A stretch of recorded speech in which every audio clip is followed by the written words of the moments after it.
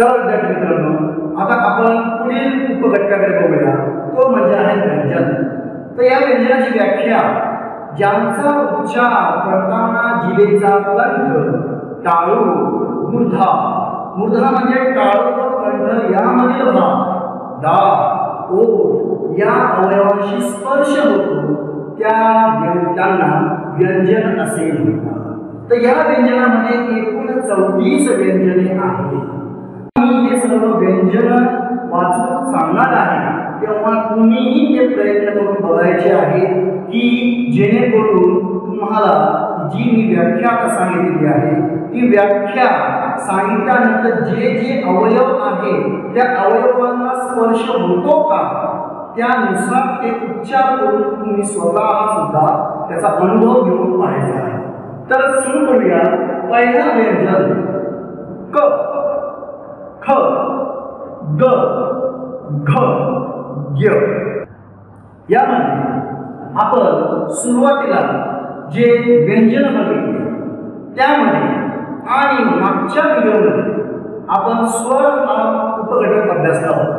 त्यामध्ये आपल्या मुखातील कोणताही अवयव हा स्पर्श करत नव्हता. जसं अ आ ई ई अशा प्रकारचे. परंतु यामध्ये जर आपण बघितलं व्यंजनामध्ये पहिली ओ जी आहे क ख. आता क उच्चारताना आपला कंठातून स्वर येतो.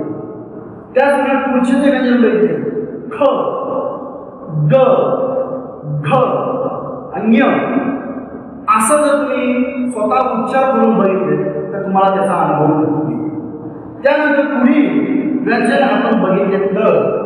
च. आता च म्हटलं तर बघा आपली जी ही टाळूला स्पर्श करते. च छ ज झ न. लक्षात आले? त्यानंतर पुढील व्यंजन मिळते ट ठ ड ढ न. म्हणजेच या ठिकाणी टाळू स्पर्श करून दाताला सुद्धा स्पर्श या ठिकाणी होत आहे. थोडक्यात का असे ना तर त्या ठिकाणी दाताला सुद्धा स्पर्श होत नंतर थ द ध न. यामध्ये सुद्धा पूर्णपणे स्पर्श दात आणि जी याच्याशी होत आहे. नंतर प ह ब भ म. या ठिकाणी ओठ हे एकमेकांना जोडले जात आहे एकमेकांचा स्पर्श ओठांचा होत आहे तुम्ही सुद्धा जसं आपण उच्चार करत आहोत त्याप्रमाणे करून बघा आणि स्वतः सुद्धा अनुभव घेऊन बघा. त्यानंतर य र ल व श श स ह र.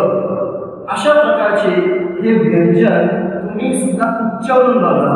तर त्या ठिकाणी तुमच्या लक्षात येईल की आपल्या मुखातील जेवढे अवयव आहेत त्यांचा स्पर्श एकमेकांशी होतो की नाही हे तुम्हाला यामध्ये तर व्यंजन तर व्यंजन हा अपूर्ण उच्चाराची असल्याने ती पाय म्हणून लिहिली जातात.